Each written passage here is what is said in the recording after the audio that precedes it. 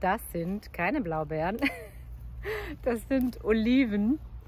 Die versuche ich jetzt mal einzulegen. Die haben nämlich sehr viele Bitterstoffe und man kann die so gar nicht genießen, Oliven. Man muss die jetzt erst in Wasser einlegen, einige Wochen und dann danach in Salzwasser und dann muss man die im Prinzip abschmecken, ähm, ja, wie sie einem munden und dann hat man leckere Oliven. Das versuchen wir jetzt mal. Und wie ihr seht im Hintergrund ähm, sind wir hier in Kroatien und an einem wunderschönen Hafen und werden mal versuchen, einen Segelkurs zu machen. Ganz spontan, wie wir sind. Und vielleicht gibt es in Zukunft oder in den nächsten Tagen noch ein schönes Segelvideo hier aus Kroatien von uns. Bis bald!